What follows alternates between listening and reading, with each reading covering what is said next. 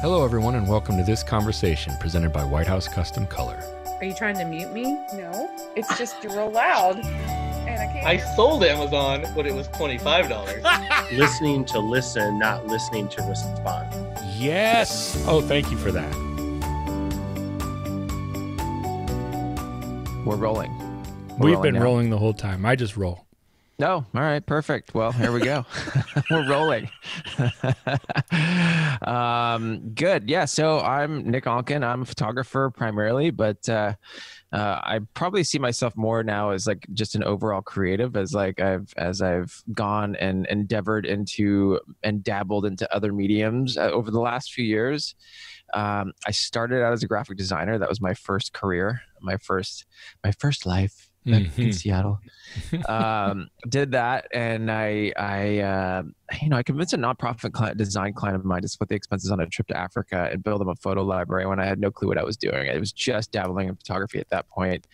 Um, much to my surprise, they said yes, and I took them up on it. And I went to Zimbabwe, Uganda, Kenya, and Burundi and that actually completely shifted my perspective in two different ways the first way was just like the way that i see the world and uh, you know experiencing the world the developing world for the first time is uh, for me was just like a crazy experiment experience and immersion of a world that i did not know people living in mud huts with grass roofs and sweeping the mud off their sweeping the dirt off of their their dirt floor yeah. kind of thing but yet yeah. they were happy and they were joyful and there was just like life to them that you know you don't see in that kind of you don't see that kind of poverty necessarily here um, and so for me that was like a, an eye-opening experience and it just kind of a it led me to uh, integrating that that perspective into everything that i've done over the since then uh, which has led me to a lot of things you know um, cha- other charity work and and working with celebrities and different things like that.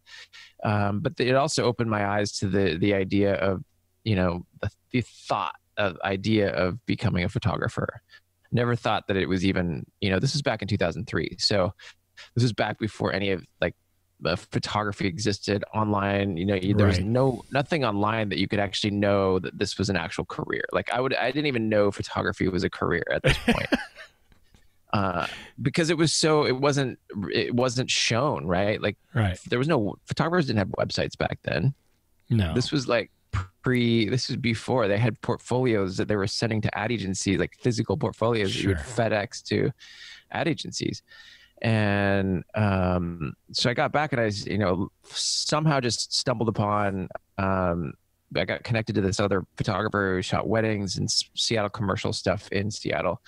And a friend of mine connected me with him to do website updates for him as a designer. And then i i cannot i got connected with him and i just started pounding him questions about photography. And he was like so he was so kind to answer all my ridiculous questions. Uh, what camera should i get for this? What should i all these questions. Eventually he invited me to come out and hang out with him as assistant on set just to see what it was like. And then you know a couple another year a little while later his assistant left and then i kind of took over. But this is like you know doing like once a week here and there uh, kind of thing while I was, you know, just I started building my portfolio and just shooting people, my friends and and whatnot, kind of on the side, building a portfolio. And um, you know, that's kind of that was kind of my induction into like learning that photography was a career, like mm-hmm. you could mm-hmm. make money at it, mm-hmm. and the like the actual potentiality of it. I didn't, you know, I didn't even know about the commercial side of it too much. And then, you know, because he was like doing you know, just kind of localized Seattle stuff. Um, but then when you get into the bigger advertising campaigns and things like that, you're flying all over the world. Right. You know, you're shooting for huge brands that are in print camp print ads across every large major large magazine all that kind of stuff and so that kind of start that's where i started to open my eyes to it and then i decided that's what i wanted to do and so i jumped in and like went full force and kind of reverse engineered a little bit, talked to other photographers, basically try to recreate, started to try to recreate things that I was seeing, and then building a portfolio. Um, and it just kind of like, you know, slowly grew from there. How do you, how do you do that? Like, it seems to me that there are a lot of people now, because now photography is like a very known quantity in a, in a relative sense. Like, you didn't even know it was a real thing back then, right? You didn't know that photography could be a viable career. At least it wasn't on your radar. And now that's not the case anymore.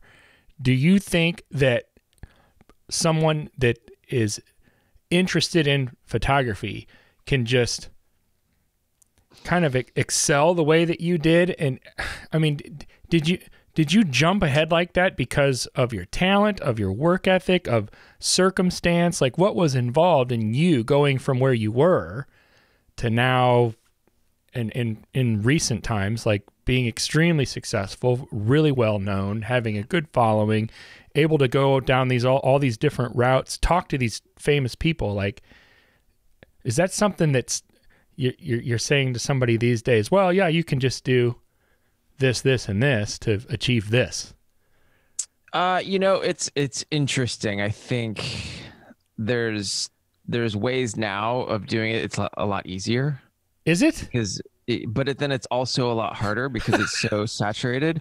But yet, like you can, you know, like you see, I I meet these kids who are shooting these celebrities that are like their Yeah. personal photographers. I mean, basically Yeah. because all they want to do, they'll shoot for free. They, don't, they live with their parents. They don't have to pay for right rent, all these Right. different things, and Right. you know they don't have to charge. So then, like you know, that just kind of that's a whole nother conversation about industry and all that stuff.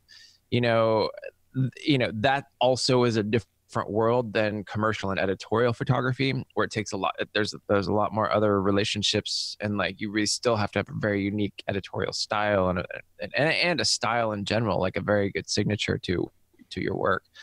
Um, for me, that took years to build you know it also the technology and online now now there's like you know you can get a professional grade digital camera for 600 bucks. Right. you can go online and learn how to use that camera for free essentially. Nothing, like people right. are, yeah people are doing youtube videos that teach you everything about what you need to know.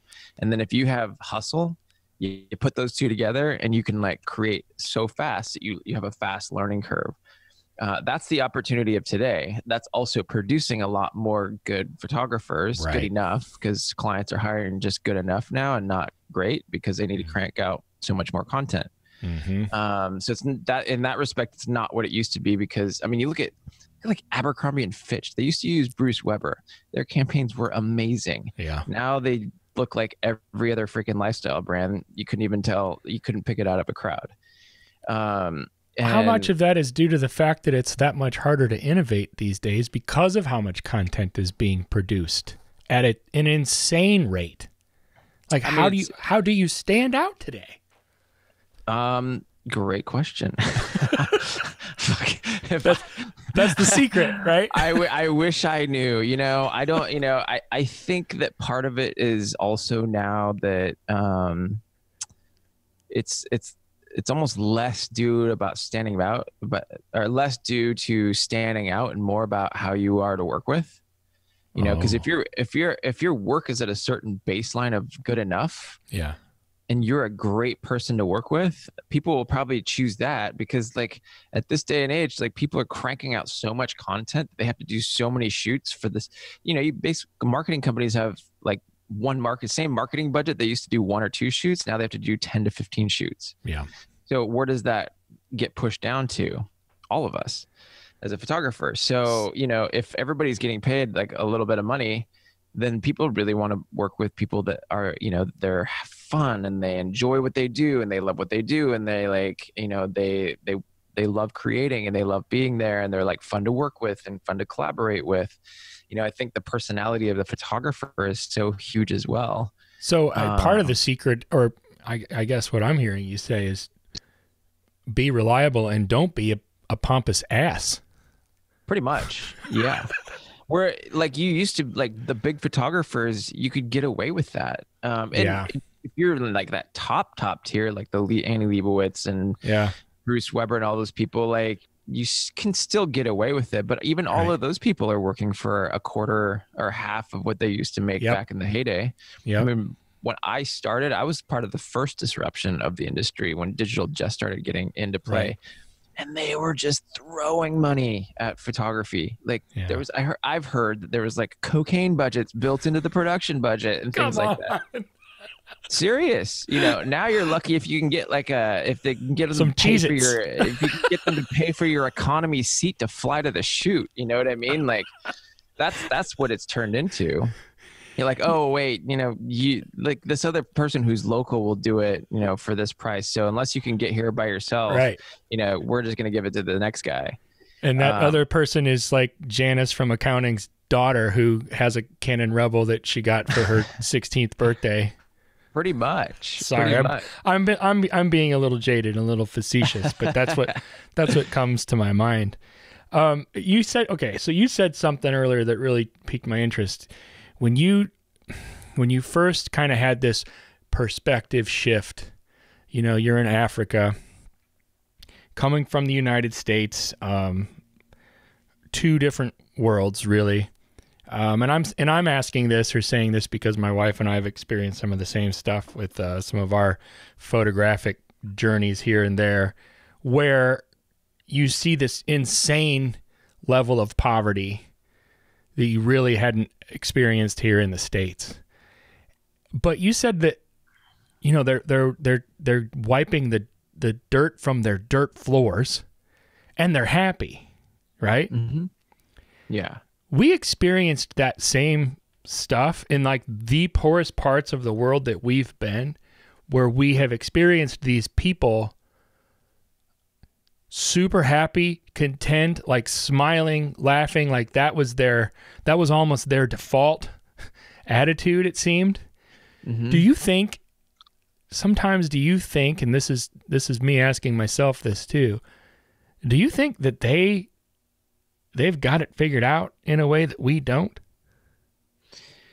Um, you know, I think there's a number of factors in there, and part of it's also just like accessibility, awareness. You know, if you're not aware of something that you don't, you know, you don't have access to, you don't know that world. I don't know what it's like to be a billionaire and live that world. Um, you know, I mean, to go to and- the other end of the uh, spectrum sure yeah you know i think that's probably a big part of it is you know i think at the end of the day it comes down to your own interpersonal happiness and and even as it's like you see all these movie stars like jim carrey or brad pitt and they get to this space where they're like eh and then what you know Hmm. you have all the money in the world you have all the fame in the world and then what and it comes down to the space of like you know being happy with yourself and not being validated by external experiences. And that you know i think that trickles all the way down the chain to you know people that are sweeping their their dirt floors and you know they're happy with where they're at. I mean at least that's what i gathered. You know maybe it's not the same for everyone but well sure. um, at the end of the day we're all human and it's like our input of external uh, values and, and validations and the more that we believe that we are our external validations the more we need those external validations you know? I mean look at our look at our president in chief right now like his ego is so big that he like he needs so his ego needs to be fed because like that's how it's been. And that's like how he feels good about himself. Like we all there's you know until we can learn how to separate external uh, validation. I mean social media is a whole nother thing as well. People like real you know people committing suicide because they don't get enough likes on a photo. Right. and like that's that's the big trick right is like detoxing from that need of dopamine of validation Mm. and and feeling good on your own. But that takes a lot of work you're not immune to that. I'm assuming you're not immune to that. Is that a is that a fair assumption Oh, that's huge. You know, uh, I I went through. I've gone through a whole lot of that, and I, I had to go through a whole process of realizing that you know I wasn't who I was shooting, and who's Mm. shooting for, who, who that makes me who I am. Because I went through a whole downward spiral a few years, like uh, years back, um, when I started my business, declined a little bit, and I went through a whole dark dark space and I think the biggest thing I had to learn first was that I am not my photography career. like you separated like it was an identity issue Um well the idea uh it- that you know I think it's the idea of not believing uh, your ego you know your ego believes that you are your external validation. So external validation being like accolades, money, Right. um, status, uh, who I'm shooting. You know, for me, my art, my creativity, my who I was shooting, what brands I was shooting. Like when I was shooting all these brands, I was on top of the world. I felt really good. And then when I when that stuff started to slow down, I didn't feel so good about myself. Right. And I was like, who am I without this? Uh-huh. And the thing is, is like that doesn't even matter. Like those accolades don't even matter as as far as like who you are as a person. And I had to go through that and learn that. And um, you know, but I did a lot, you know, I went through an emotional intelligence and leadership training for a few years and learned a lot about these different ideas and concepts and and mental constructs. Um and and kind of took myself through that process. So you felt yourself slipping, so to speak, into I don't know, some sort of a a crisis type state and you took action and you were intentional about it. Yeah. And how did how did you come out of that? I I, mean, like I'm st- still working through that, but yeah. Well, that's and it's a process, right? But I mean, like I've I've talked to a lot of different people, and they get into these, they go kind of into this downward spiral, right? Mm-hmm. And it's it is an identity. I, I I've experienced it f- through the, their eyes as as an identity crisis. You know, like oh, I used to be a big deal essentially, and now I'm you know the phone's not ringing anymore, or or you know there's all these young whippersnapper kids that are doing this that and the other and i don't know how to do this and i can't do that anymore and and i've i've actually had more conversations about this than normal i would say in the past year and it seems to me like it it really requires some proactivity to not get bogged down by that Yeah, I mean that's exactly what it is. It is it's an identity crisis, right? And um, like your ego is your identity, and if you believe that that is a, you know who you are, then that's where you crash, right? Yeah, like when the right. phone doesn't ring, who am I? Right You know, when right especially in the creative field, and especially, you know, I'm sure you probably talked to other photographers who Yeah. were like blazing, and then now everybody's like, "What?" It's like crickets. And then Yes. you're like, well, who am I? Like, what is this? And, you know, for me, that's caused me, you know, to go down a spiral for sure. right Um, but I think doing, even for me, like a lot of, you know, personal development and self help stuff has really helped. Um, help me create and understand the structure of how that even, you know, the association of your identity to who you are. Um, and be, you know, being able to separate that. Because when you separate that, then, and you don't believe that if the phone's not ringing, you're not worth anything. Right. Right. Um, you know you are worth you are you are enough regardless whether the phone rings or not. Yeah. And that takes work to actually believe that. Right it that does takes practice that takes therapy that takes personal development work that takes i don't know plant medicine i, don't- I like plant medicine however um, you know, there are so many different ways and like things that you can do to to navigate through it, especially now, uh, especially Yeah. with all the the online content and stuff like that. But I think it's becoming a you know it's it's becoming awakened or or becoming aware of these things so Right. that you're not so attached to that, right?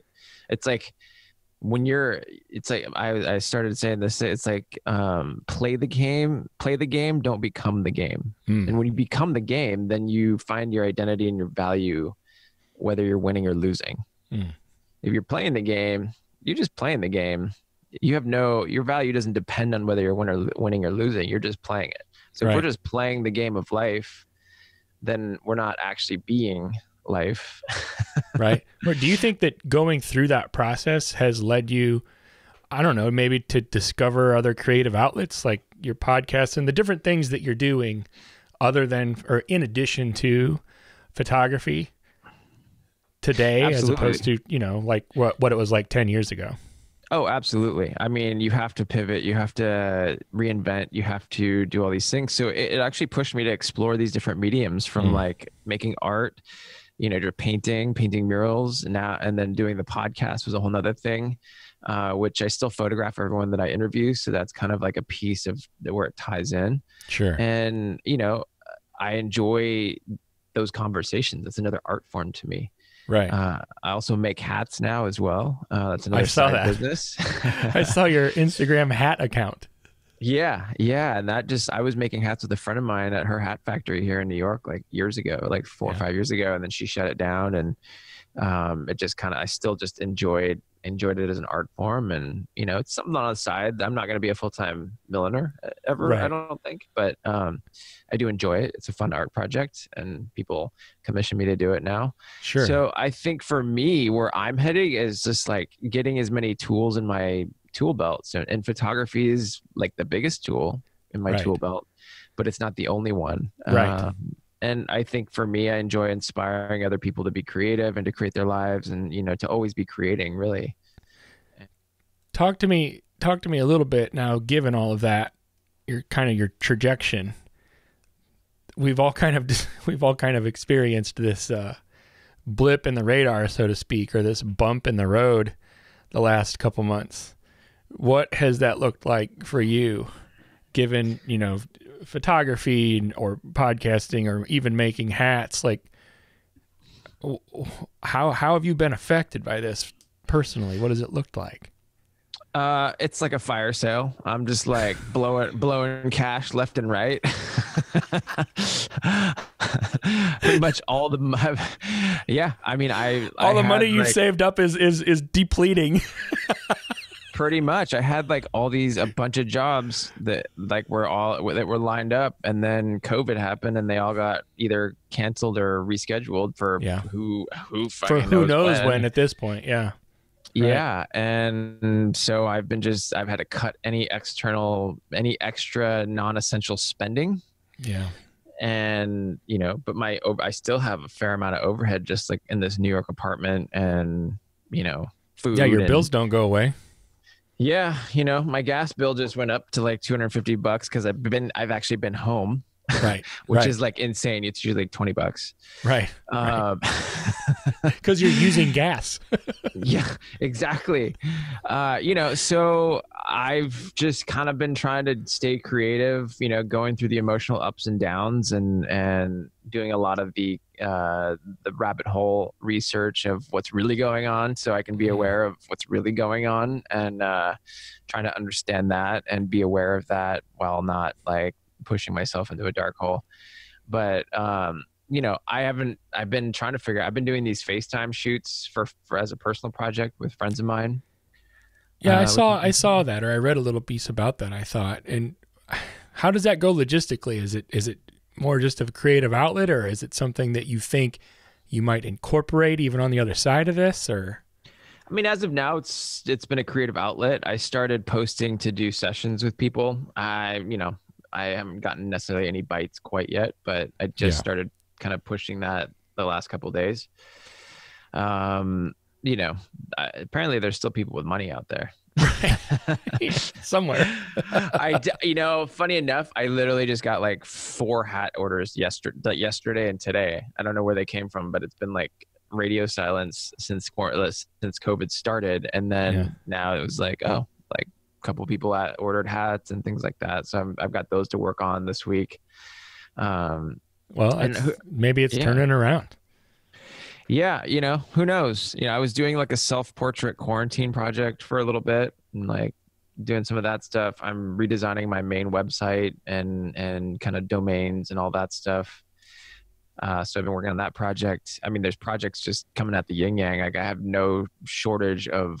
Um, yeah, there's no downtime. I'm Right. never bored. There's always things to do. let me ask you. Let me ask you a personal question. I'm just curious. When you th- when you think you know back to the last few years, who is somebody that really stands out to you that was really great to work with? As far as somebody relatively famous, relatively famous. Um, relatively famous. Lil Jon was really cool. I shot him Really? last year a couple times. Him and Tyga, but Tyga was like for five minutes. yeah. Um, and I don't even like they didn't even use the images because like I don't even think they released the song. It's like the second one. I shot Justin Bieber and Cody Simpson one year. We did this huge shoot for this co like they wrote co-wrote this album together. We did this huge shoot. It was we were like it was this tight deadline. They let me shoot film and digital, which was amazing. So I Yeah. brought like my my Hasselblad 503, my Contax G2s, and um, you know we shot tons of stuff on this dope ass ranch. And like they're like, we need this stuff. We're gonna release it on Friday, and then pff, gone. Like they didn't even release the album. So like literally, they Really? like they just decided not to release the album, probably because of just like branding for Justin. But like, and then like I th- I had that whole shoot that I can't see the light of day because they own them. Um, right, I, right, right. I never give away uh, copyright, but that was the only you know I kind of had to on that one. But they paid me a a good chunk of change It, for that it was one. worth so it. it was it was a, it was definitely worth it. Absolutely. what you got a Um, lot going on. You have a lot of different, I don't know, irons in the fire. It seems like where where are the best places for people to find you? I mean, the best place to follow is just at Nick Onken because you can get to everything from there. My Mhm. websites, my other Instagram accounts. Um, you know, that's kind of more behind the scenes, me and my life. And then I have like a, just a photography account, which is photographs by Nick Onken. And then the hats are Onken hat. So Yeah, I saw that. yeah. I really appreciate your time. Thank you for doing this with me. Um, I, you're in New York. I'm in New York. BK. You're you're in a very different world than I'm in right now. I'm in the middle of the flyover states where not much is going on, and everyone's itching to get back to work, and lots of people are threatening anarchy and everything else around here. So I could imagine. you look like you're in your office though. I am. I'm in my office. I'm I'm safe in my compound here, but man, it's just not you being. I've talked to a few people in New York, and it's just a completely different world, a completely different mindset than what it is around here. How so? Um, Well, I know the, you know the people in New York. There's a well, for one thing, there's a lot. A population density. B the way that the virus hit you guys is not the same way that it hit here. I think we had, I don't know, a handful of cases. I I know like two or three people that have had it. Yeah. You know, whereas everyone I talk to in New York, they know several people that have died. You know, it's like a completely different effect. Wow. Same virus, but you know, the diff- different circumstances have led to different manifestations, I guess. So Yeah. there's a lot of people here that never did any social distancing and that complain now if they have to wear a mask going into the store. Like it doesn't Wow. even en- it doesn't even enter their minds. And I know that it's not like that in the bigger metropolitan areas. You know, even two and a half hours north of us in Chicago, completely different story, completely different mindset. Um, Yeah. Where are you guys at? uh, right, right around Peoria, Illinois, Central Illinois. Oh no way! My my grandparents they all live in Colfax. Yeah, where's Colfax? Is that isn't that south even of me? I mean, it's I think it's just east or west of Bloomington, like thirty minutes. Yeah, well, I I'd have to look at a map. I don't. It might be it might be east because I'm west of Bloomington 30 minutes. okay, then it's probably east. Yeah. it's it's there. somewhere out there. You've been there once. yeah, I've been there many times. Oh, well. I I appreciate your time. I didn't know you know, we've we've reached out to a few different people just hoping that they would say yes and you were one of the people that we just hoped would say yes and so when you did it was a very pleasant surprise. Yeah, I mean it's quarantine time, and it's just like you know trying to do as much as I can, and and be creative, and and jump on and do all the things. So Thank you for I contributing. having me on.